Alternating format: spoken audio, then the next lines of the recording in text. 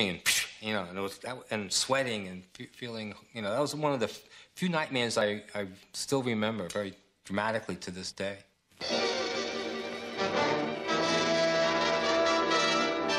This is Times Square, New York, prior to the start of a civil defense drill highlighting Operation Alert.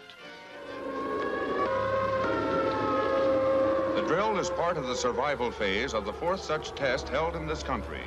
Less than two minutes after the take cover signal, the streets were cleared. Times Square is deserted.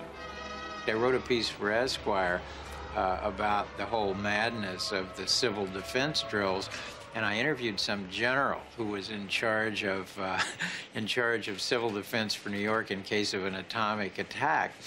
And he kept talking to me, you know, in all this jargon. And I said, "Look, just just tell me this. Well, what happens if an atom bomb actually hits New York?" And he says, "You mean ground zero? You know. And I said, "Yeah. The, the, what if it hits Manhattan?" He says, "Well, he says it's goodbye New York." So I wrote a piece called "Goodbye New York."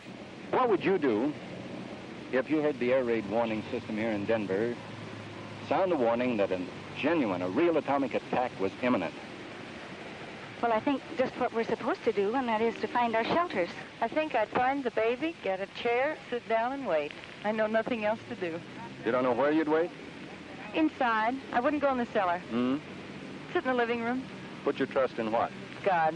Beyond that, I have none other. Again, the fireball.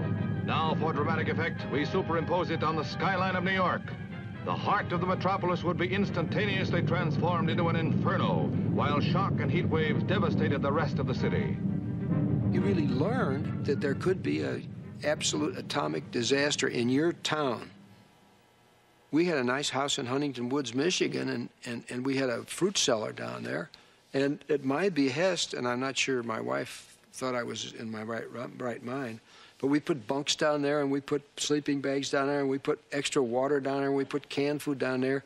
And I, I kept trying to figure out some way to reinforce the ceiling. I don't think I ever figured that out. But the theory was that when we heard the sirens go, we were all going to run down there and go in, and we might have to stay in there for two weeks. So we had it stocked up to support us for two weeks. A new housing development near Denver, Colorado shows the nation's first model homes with built-in fallout shelters. The room is designed with an atomic war in mind.